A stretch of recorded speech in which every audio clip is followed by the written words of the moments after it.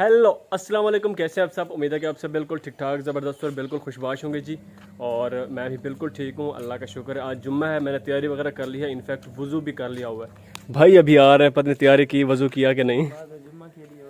वज़ू करने जा रहे हैं ना? चले, वज़ू करके जल्दी आए। भाई, वज़ू कर लेते हैं, उसके बाद चलते हैं जुम्मा नमाज़ पे। अच्छा दूसरी बात आप लोगों को आज बताता हूँ, मैं सुबह सुबह जो मेरा दिमाग शार्ट हुआ ना, मैं बता नहीं सकता। मतलब सुबह सुबह नाश्ता मैं कर रहा था। नाश्ता अभी मैं कर रहा था। मुझे कोई ऐसी खबर सुनने को मिली है? मैं मतलब क्या बताऊँ? मुझे समझ नहीं आ रहा था मैं क्या कहूँ, क्या ना कहूँ। एक एंगल से मुझे हँसी भी आ रही थी, परेशान भी था, हैरान भी था, थोड़ा टेंशन में भी था, क्योंकि सीन ही कुछ ऐसा बन गया था। तो खैर अभी तो खैर जुम्मे के लिए जा रहे हैं। बड़ी कमाल की स्टोरी आप लोगों ने सुनना लाजमी है ठीक है। अभी तो हम जा रहे हैं जुम्मन नमाज़ पे। मैंने वज़ू कर लिया बाइक का। तकरीबन मेरे ख्याल में दस पंद्रह मिनट रहते हैं। और बाइक मैंने यहाँ पे निकाल लिया धूप पे खड़ी है। मैं भी धूप पे खड़ा हूँ। पहले तो ये होता था कि वहाँ पे पेड़ था तो बाइक निकाल के सीधा पेड़ के नीचे हम जाके खड़ जाते थे। वहीं पे बाइक गर्म करना स्टार्ट करना सारा कुछ। लेकिन अभी जो है वो मैं भी धूप पे खड़ा हूँ बाइक भी धूप पे खड़ी है। भाई साहब बड़े अरसे बाद मैंने आज लैपटॉप को लगाया था चार्ज के लिए। ये जगह आप लोगों को साफ़ नज़र आ रही होगी लेकिन ये चीज़ चेक करें। मतलब इससे भी बुरी हालत पहले लैपटॉप की थी तो मैंने इसको साफ़ किया था, खैर। तो अभी चार्ज लगाया था कब का? अभी वाइट है मतलब फुल हो गया ऑलमोस्ट तो इसको भी उतार देते हैं। अच्छा पहले मोटर के लिए कनेक्शन डायरेक्ट ऊपर से आ रहा था पेड़ पे। पेड़ से फिर दलजान की तरफ़ भी जा रहा था और इधर हमारे वॉशरूम के लिए भी जा रहा था। लेकिन पेड़ ना होने की वजह से हमने कनेक्शन अब यहाँ से करवा लिया था। ये तार आ रही है, ये देखें ये देखें। मतलब दीवार के साथ साथ और इधर भी कनेक्शन दिया है, दूसरा यहाँ पे भी बोर्ड लगाया हुआ था, ठीक है, यहाँ पे क्योंकि अंधेरा होता, पहले तो यहाँ पे कुछ नहीं था, लेकिन अब तो यहाँ पे आने जाने लगा रहता है इस हिसाब से ना। और इधर वॉशिंग मशीन के लिए फिक्स जगह थी, ये टूटी वॉशिंग मशीन के लिए है, और ये बोर्ड भी स्पेशल हमने इसी के लिए लगवाया था। अच्छा इसके अलावा एक दूसरी चीज़ भी थी, मैं आप लोग को वो भी दिखा ये चीज़ भाई साहब, हमने बाहर भी बोर्ड लगवाया था। हालाँकि पहले नहीं था, लेकिन अब जो है यहाँ पे काम आता है। ये किसी और के काम आता हो या ना आता हो, लेकिन मेरे बहुत काम आता है, क्योंकि रात को मैं तकरीबन सात से आठ बजे मतलब जब मेरी वीडियो आती है तो मैं यहीं पे दरवाज़ा खोल के यहीं पे आगे खड़ जाता हूँ, यहीं पे वीडियो अपलोड करता हूँ, यहाँ पे स्पीड अच्छी होती है।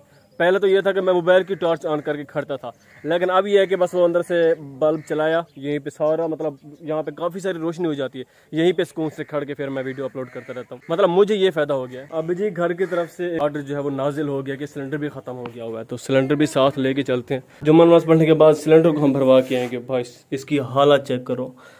इसको पहले तो खोल लेते हैं किसी तरह। इसकी हालत चेक करो भाई। पहले तो इसको खोल लेते हैं उसके बाद इसको साफ़ करके ना साथ ले जाते हैं। भाई साहब इसको साफ़ कर लेते हैं किसी तरह।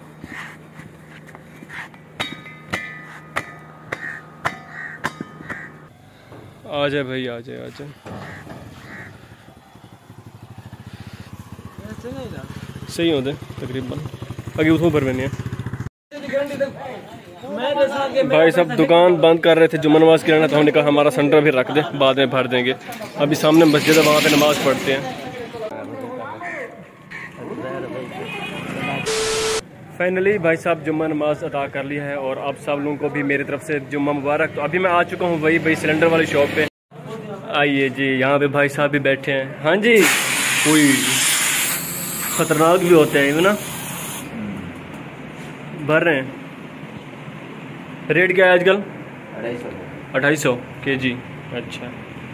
तो अभी भाई साहब आठ किलो का सिलेंडर है और हम इसमें भरवा रहे हैं पूरा सात किलो। तो अभी छः छिया सात किलो हो गया। अठाई सौ का लीटर है सोलह सौ का इस टाइम हो गया। अभी तो जा रहा है ऊपर। देखो कहाँ तक जाता है। अच्छा ये बार बार हवा निकालनी पड़ती है? अच्छा। और ये भाई इनका सिक्योरिटी वाला सिलेंडर खड़ा हुआ है काफ़ी बड़ा सा। इसी में गैस होती है। गैस है कौन सी? इसकी कोई किस्में होती है ना? हाँ जी बड़ी किस्में होती है। हाँ। फान का गैस है। फान फान अच्छा मतलब ये अच्छी होती है? ये अच्छी होती है। फान अच्छा फान गैस है गैस तो मतलब ये अच्छी होती है। सब में से ये अच्छी होती है। बाकी यहाँ पे भाई पिस्टल वगैरह भी खड़ा हुए हैं माचे से बचने के लिए। अभी भाई साहब वहाँ पे रेस्ट फरमा रहे हैं। फाइनली भाई साहब, सात किलो हो गया हुआ है। चले, इसको निकाल दें। इस तरह का सिलेंडर हमारे पास है ना? मतलब लकड़ी वाला सिलेंडर है ना? हमारे पास भी है। मतलब लकड़ियाँ इसमें डलती हैं, पंखा लगा हुआ है, हवा देता रहेगा ऑटोमेटिक मतलब बुझेगी नहीं आग, ना? बिल्कुल गैस की तरह काम करता है ये। हमारे घर है पड़ा हाँ वैसे पूछ रहा हूँ मतलब ये आजकल ट्रेंड में जा रहे हैं, लोग इसको यूज़ करते हैं, भाई साहब। लकड़ियाँ डालो, इसमें देखे, काफ़ी जगह, ना? तो यहाँ से भाई स्विच लगाओ। ये चार हज़ार का है। गैस ये चार हज़ार का भाई ये पैंतीस का ये चार का। अच्छा इसका ये फ़र्क है ना देखो ये इसका अच्छा है ये दूसरे टाइप का है। गैस दूसरी बात हम ये पिस्तौल ले रहे हैं। पिस्तौल इसको कहते क्या है वैसे मुझे नहीं पता। इसको क्या कहते हैं? लेटर लेटर हाँ लेटर जल जा बल्कि लॉक है। देखो इसके मतलब सिस्टम भी अच्छे हैं। ये लॉक लग जाती है यहाँ पे और इसके बाद हाई लो भी है। जल रहा है? ये चेक करो भाई साहब। आजकल माचिस भी पाँच रुपए की है। ये कितने का है? सौ रुपये ढाई सौ का है। चले आ जा एक मिनट में भाई से मशरा कर लेते हैं। अंदर जलेगा? अंदर पंखा चल रहा है। हाँ हाँ अंदर गैस का सिस्टम है। भाई अंदर इसको नहीं जलेंगे। वैसे दिखा देते हैं। भाई यहाँ पे चलाया ना वो भाई हर चीज़ को आग लग जाएगी। चेक करो इन्हें चेक करो। बालना नहीं को बालना नहीं ठीक है ना अच्छा अगर गैस खत्म हो जाए तो उसको फिर भर भी दें। सही है ना, ये माचिस से अच्छा है मेरे ख्याल में। वो ख़त्म हो जाते हैं, सही बात है। इधर जलाना नहीं है भाई, सारा गैस ही गैस इधर। चलें जी फाइनली जुम्मन नमाज़ पढ़ के और सिलेंडर वगैरह भरवा के हम घर आ गए थे। अच्छा अभी आप लोगों को भाई इंतज़ार होगा, बेचैनी होगी, वो बात बताने की। एक्चुअली बात भाई कुछ यूँ है कि मतलब मुझे समझ नहीं आ रही तो कहाँ से शुरू करूँ? मेरे नाम से मतलब मेरा नाम और मेरी तस्वीर, मेरी शक्ल जो वो यूज़ करके एक है बंदा। फ़िलहाल मेरे सामने तो एक क्या है अपनी बाकी कितने होंगे शायद। एक बंदा है जो, जिसने मेरे रिश्तेदार को, मेरा कज़न है, उसको मैसेज किया जी। ठीक है। मतलब वो उसके बायो में मेरा नाम लिखा हुआ था फिरदोस खान और उसके डीपी में भी मेरी तस्वीर लगी हुई थी। और वो भी सारा कुछ दिखाऊँगा कि कौन सी तस्वीर थी मेरी, सारा कुछ वो भी दिखाऊँगा। अच्छा जी, उसने मेरे कज़न को मैसेज किया कि भाई मैं मतलब कज़न ने फिर नहीं पूछा क्योंकि डीपी मेरे से नाम मेरा था तो मतलब उसने तो यकीन कर लेना कि मैं ही हूँ। हाँ जी, उसने कहा, कैसे हो घर में सब कैसे ये वो हाल हाल हुआ। उसके बाद उसने मेरे कज़न को कहा कि भाई मुझे ना अर्जेंटली पैसों की ज़रूरत है। मेरा दोस्त जब वो हॉस्पिटल में है हॉस्पिटल का मसला है। वो मतलब काफ़ी एमरजेंसी में है। तो आप मुझे पैसे दे दो अभी और इसी वक्त मतलब जहाँ भी हो, जैसे भी हो मतलब मुझे पैसे चाहिए अभी। तो फिर मतलब कज़न जो है वो थोड़ा परेशान हो गया क्योंकि वो, मैंने उससे एक तो कभी पैसे मांगे नहीं। और इस वे में हमारी कभी बात नहीं हुई थी मतलब जिस वे से वो बंदा उससे कर रहा था। खैर उसने कहा भाई आ, मतलब वो तो सच गया उसने तो वजह नहीं पूछनी थी मतलब ज़्यादा रीज़न नहीं पूछनी थी क्योंकि वो मेरा कज़न था। उसने कहा वो पहले परेशान है और इसको क्या परेशान करो? उसने कहा बात यूँ है कि मेरे अकाउंट में इस वक्त नहीं खड़े ठीक है? और आप क्योंकि वो जो मेरे कज़न ना वो स्कूल टीचर है गवर्नमेंट स्कूल टीचर है। उसने कहा मैं स्कूल जा रहा हूँ तैयारी कर ली सुबह सुबह की ये बात है। मैंने तैयारी कर ली हुई, स्कूल जा रहा हूँ, आप स्कूल से आगे ले लो। या रास्ते में मुझे कहीं में मुझे मिल जाओ तो रास्ते में आप जो है वो पैसे मुझसे ले लेना। फिर कज़न ने पूछा कि कितने पैसे चाहिए? उसने कहा, मुझे तीस हज़ार रुपए चाहिए। तो कज़न ने कहा, चलो ठीक है, मेरे पास पैसे हैं तो आप स्कूल में आके ये वो मतलब ले लो। अभी मैं अकाउंट में नहीं भेज सकता क्योंकि मेरे अकाउंट में इस टाइम नहीं खड़े बाद में जी कज़न को ख्याल आया, उसने कहा, यार, मुझे कॉल करनी चाहिए, क्या कोई सीरियस मसला है? कौन सा दोस्त है? कोई रिश्तेदार बीमार है या मतलब क्या ऐसा इशू है? तो मुझे उसे कॉल करनी चाहिए। तो उसने मेरे मेन नंबर पर कॉल की मतलब मेरा मेन नंबर तो व्हाट्सअप आप लोगों को पता आजकल दो ही होते हैं हर बंदे के। तो उसने मेरे मेन नंबर पर कॉल की, उसने कहा, भाई, क्या खैर तो है? मतलब क्या हुआ है? कितने पैसे ज़रूरत है? और कौन, किसकी तबीयत ख़राब है? मैंने कहा, यार, क्या मतलब क्या बात कर रहे हो? मुझे तो नहीं पता क्या कह रहे हो आप। किसी की भी नहीं तबीयत ख़राब, सारे ठीक है, अल्लाह का शुक्र है। तो उसने कहा, आप मुझे व्हाट्सअप पे मैसेज नहीं कर रहे? मैंने कहा, नहीं, मैं तो नहीं कर रहा। उसने कहा, भाई, ये भी नंबर है। मैंने कहा, मेरे पास तो ये नंबर ही नहीं है। तो मतलब वो फिर हैरान हो गया, मैं भी हैरान हो गया। तो मैंने कहा, मसला क्या है? उसने कहा, भाई, मुझे एक बंदा मैसेज कर रहा है, उस पर सेम आपकी डीपी लगी हुई है और आपका नेम लिखा हुआ है बायो पे। तो मैं समझा, आप हो? और मैंने तो उसको कह दिया कि मुझसे रास्ते में आके ले लो। अगर मेरे अकाउंट में पैसे खड़े होते तो मैंने तो उसको भेज देने थे बगैर पूछे, बगैर तस्दीक किए। मुझे क्या पता था? मैंने कहा, आप हो। तो मैंने कहा, भाई, ऐसी कोई गलती नहीं करना। मतलब बिल्कुल नहीं भेजना उसको। उससे मजीद इन्वेस्टिगेशन करो। मतलब उससे मजीद इस तरह बात करो। सही से ना? तो फिर मैं परेशान हो गया, फिर उसने मुझे स्क्रीनशॉट भेजे सारे वो। आप लोगों को मैं एक तो स्क्रीनशॉट दिखाता हूँ। अच्छा मैं जो है वो आप लोगों को रिकॉर्डिंग दिखा रहा हूँ, क्योंकि एक तो मोबाइल मेरे पास एक ही है। वीडियो भी इसी पे और व्हाट्सअप भी इसी पे। चले व्हाट्सअप पे चलते हैं और मैं फ़िलहाल आप लोगों को वो स्क्रीन दिखाता हूँ।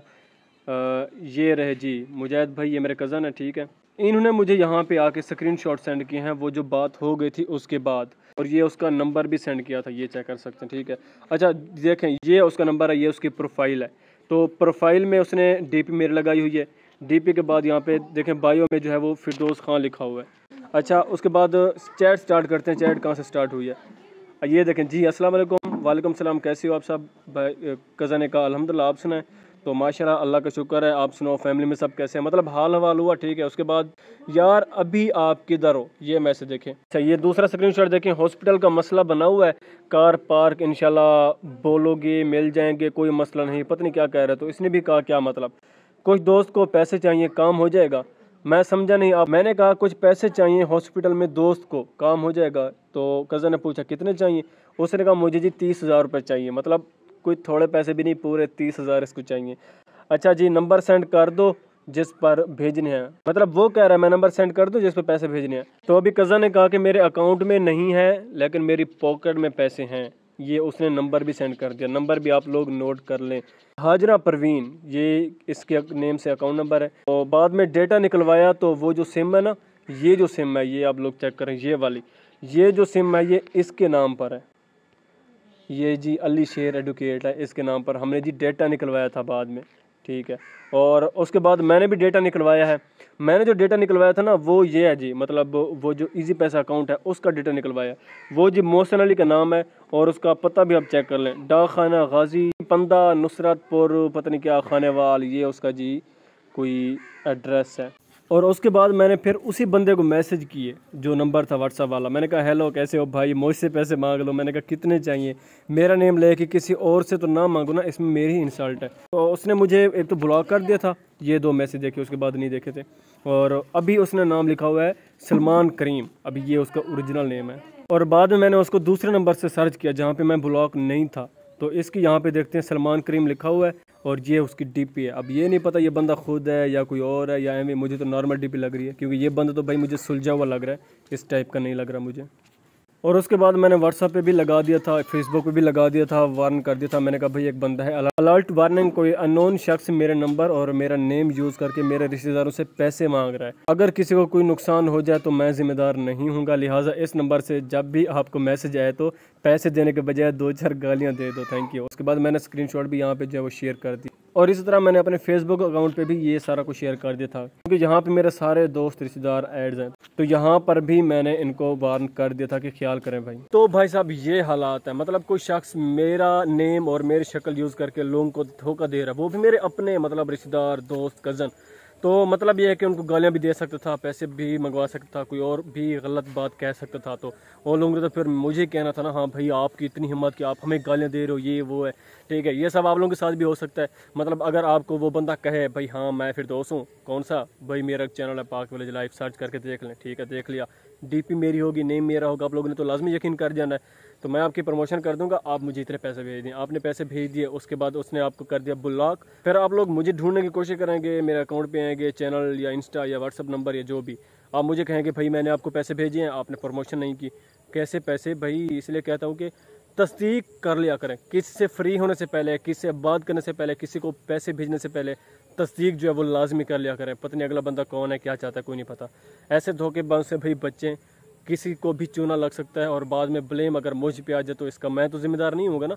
इसलिए मैंने फ़ौरन भाई व्हाट्सअप पे हर जगह भाई फैला दिया था कि भाई इस तरह का कोई नंबर है, इस तरह का कोई उसका इजी पैसा अकाउंट है और वो लोग उसे पैसे मांग रहे हैं तो आप लोगों ने भी बचना है। इस चीज़ का मैं जिम्मेदार नहीं हूँ चले जी, आज के व्लाग में बस यही एक वार्निंग थी। आप लोगों के लिए भी, आप लोगों ने भी लाजमी ख्याल करना है। तो बस आज के व्लाग को यहीं पेंट करते हैं। उम्मीद है आप लोगों को आज का ब्लाग पसंद होगा। तो मिलते हैं आप लोग से कल एक ताज़ा और फ्रेश व्लाग के साथ। तब तक के लिए अपना बहुत सा ख्याल रखिए जी। अल्लाह हाफिज़।